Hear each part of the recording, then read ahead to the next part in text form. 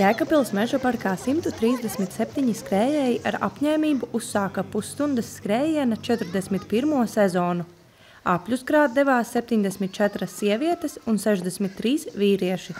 Sacensību laikā dalībniekiem pusstundas laikā jāveic pēc iespējas vairāk apļu 500 metru garajā trasē. Galvenie šie aktivitātes mērķi ir popularizēt skriešanu un veicināt iedzīvotāju fizisko aktivitāti, veicinot veselīga dzīvesveida piekopšanu. Sacensības notiek sešās kārtās, piecas no tām norisinās oktobrī, bet noslēdzošā 6. novembrī. Ik viens interesants var pievienoties sacensībām no jebkuras kārtas, taču kopvērtējumā tiks ņemti vērā četri labākie rezultāti. Pirmajā kārtā vīriešu konkurencē visvairāk apļu sakrāja Jānis Jerofejevs. Viņam 30 minūtēs izdevās pieveikt teju 10 km, noskrienot 19 apļus. Sieviešu vidū labāko rezultātu uzrādīja Ineta Jerofejeva, pieveicot 16 apļus.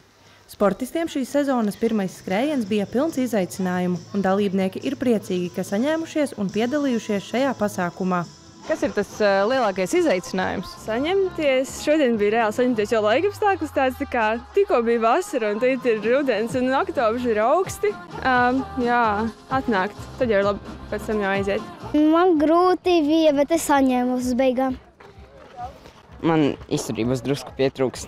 Nebija viegli, bet labi gāja. Un kā tev gāja? Nu, labi, bet tas arī nebija tik viegli. Šī tā man ir uh, ceturtā reize, kad es piedalos sacensībās.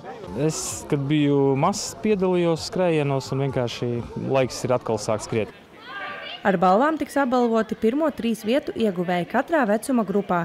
Savukārt ātrākais kungs un ātrākā dāma, kuri absolūtajā vērtējumā visas sezonas garumā būs noskrējuši visvairāk apļu, saņems dāvanu karti sporta preču veikalā 50 eiro vērtībā. Sīkāk ar pirmās kārtas rezultātiem var iepazīties Jēkabpils sporta centra mājaslapā. Nākamā pusstundas skrējiena kārta norisināsies 9. oktobrī pulksteni 18. Kate Katrīna Strode, Kaspars Daņiļevičs, Vidusdaugavas televīzija.